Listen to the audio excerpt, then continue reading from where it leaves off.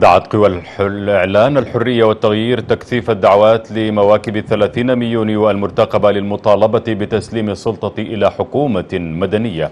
ودعا التجمع في بيان إلى تحويل ذكرى انقلاب الرئيس المعزول عمر البشير إلى مظاهرات صاخبة ضد المجلس العسكري.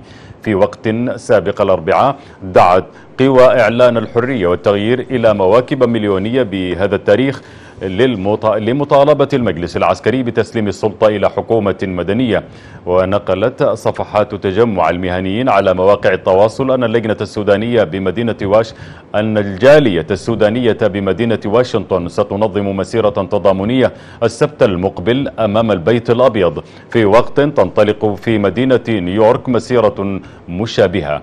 من جهته قال مستور أحمد آدم نائب رئيس حزب الأمة حزب المؤتمر القومي إن الخيار الوحيد المتاح هو التصعيد إلى تسليم السلطة للمدنيين. كما توقع نائب رئيس حزب المؤتمر القومي أن يغلق المجلس العسكري الشوارع ويمنع المواطنين من الخروج من الأحياء فضلا عن الاستمرار في قطع خدمة الإنترنت. من جهته رفض زعيم حزب الأمة القومي صادق المهدي الأربعاء الدعوات للخروج في مظاهرات حاشدة في الثلاثين من يونيو ضد المجلس العسكري الحاكم.